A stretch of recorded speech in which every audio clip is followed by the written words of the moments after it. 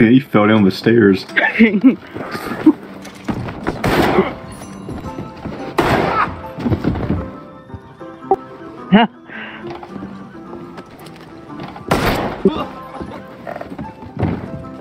Is he starting to sit up and he fell back down.